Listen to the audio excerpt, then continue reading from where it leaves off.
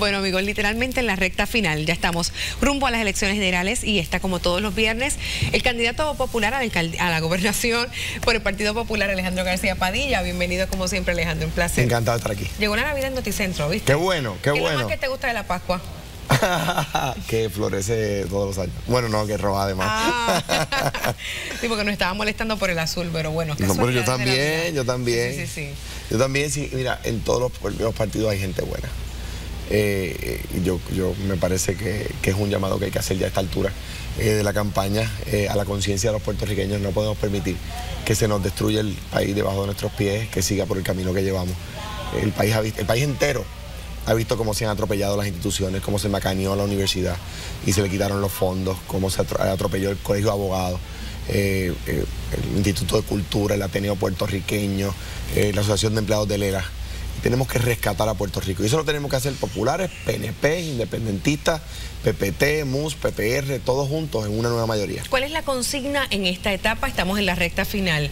Todavía puede quedar personas que estén indecisas, que digan, es que sí, pero no. Pues mira, yo entiendo eso. Hay que rescatar a Puerto Rico.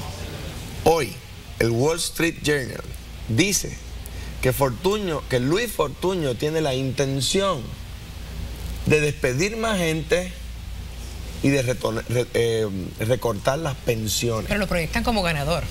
Eh, dicen que es el candidato de los bonistas del Wall Street Journal, porque pretende recortarle beneficios a los puertorriqueños para darle chavo a los bonistas. Yo soy el candidato de la gente. Él quiere plantearse como el candidato de los bonistas, bueno, pues ese es su problema. Pero que hoy lo que Fortuño ha estado negando y lo que negó en la campaña pasada, que quiere más despidos, que quiere recortar pensiones. Fíjate que el mismo artículo hoy dice que, si se le que se le preguntó si iba a recortar pensiones y no lo negó. Dijo que eso lo va a anunciar después de las elecciones. Si la respuesta fuera que no va a recortar pensiones, ¿por qué no decirlo ahora? ¿Por qué esperar después de las elecciones? Porque la respuesta es que sí, que va a recortar las pensiones. Por eso, si usted que me escucha recibe una pensión, o si tiene sus padres o sus abuelos reciben pensión, sepa que el plan de Fortuño es recortarle la pensión igual que es despedir 26 mil empleados públicos. Entonces, anoche, ayer, por ejemplo, un, periodista de una emisora radial regional de la montaña, Cristian, un buen, buen eh, joven, me decía, sí, pero él niega que va a despedir 26 mil empleados públicos. Y yo le digo, y hace cuatro años negó que iba a despedir 30 mil. Y el mismo periodista me dice, bueno, eso es verdad. También lo negó. Y lo hizo. Esa es la verdad. ¿Eso no es inyectar miedo a la gente en esta etapa de la campaña, Alejandro? Si, si no tuviéramos la experiencia que hemos tenido, la respuesta a tu pregunta sería que sí. Pero con la experiencia que ha habido, y en este momento yo quiero dirigirme particularmente a los que no son populares que me están viendo. Ustedes han visto con el mismo dolor que yo cómo se ha atropellado este país. Pues llegó el momento de rescatarlo. Y hay una sola alternativa para rescatarlo y ustedes saben cuál es. De eso es que se trata la próxima elección. No de que un partido le gane al otro, es de que los puertorriqueños rescatemos a Puerto Rico. ¿Le dará el voto el pueblo Alejandro García Padilla con la confianza eh, verdadera de que usted va a rescatar a Puerto Rico de la situación económica en la que se encuentra, de la criminalidad, del asunto de los, del desempleo en Puerto Rico? Son hechos importantes que en el fragor de esta campaña pues hay mucha emoción envuelta, pero la realidad es otra. Mira, es como tú dices, el desempleo ha subido, el crimen ha subido. Y tú utilizas la palabra confianza. Yo quiero que me lo den con esperanza que confirmen esa esperanza durante los cuatro años. Y si yo fallo, y ustedes graban esto, dentro de cuatro años, si yo no le he cumplido al país en reducir el desempleo, en reducir la criminalidad, que me quiten la confianza entonces. El, voto no es un regalo, es un préstamo. Yo le pido al país que me preste su esperanza, que me preste su confianza. Y si yo no reduzco el desempleo en cuatro años y si yo no reduzco el crimen en cuatro años, entonces me quitan la confianza. Pero ¿Sabes de lo que se trata esto?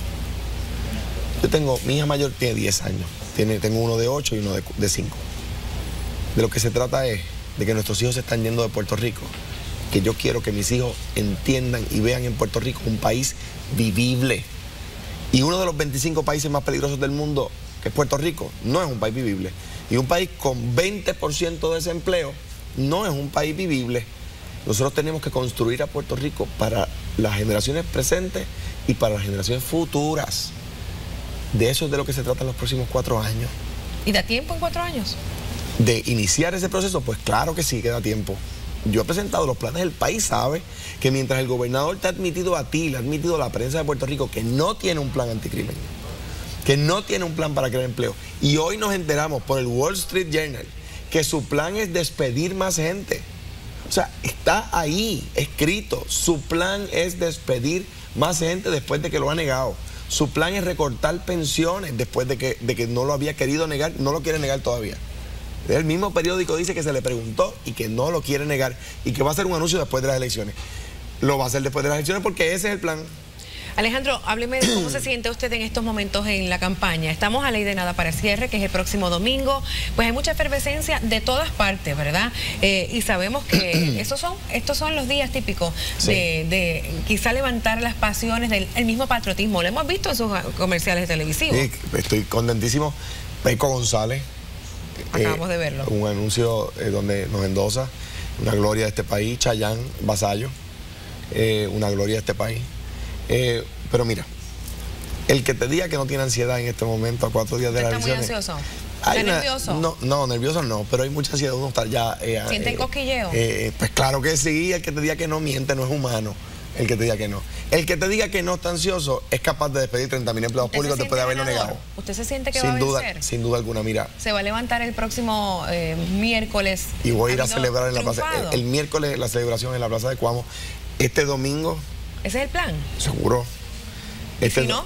Este domingo eh, todos están invitados a eh, la facilidad del estacionamiento del centro de convenciones eh, aquí en San Juan. El centro de convenciones. El centro de convenciones. Van a estar allá, hay dilema de si de día, por qué fue más temprano, por qué fue más tarde. Nosotros siempre lo hacemos de día. Eh, de hecho, es un área inmensa. ¿Y van a lograr llenar ese espacio? Estoy seguro que sí. el PNP nuevamente lo hace de noche porque las fotos, pues obviamente de noche permiten ocultar si no les va mucha gente. Yo creo que es un partido que también es grande. Eh, o sea que va, quizás igual que, años anteriores no logra llegar, llevar la misma cantidad de gente que nosotros. Alejandro, acuérdate que los contratistas son pocos.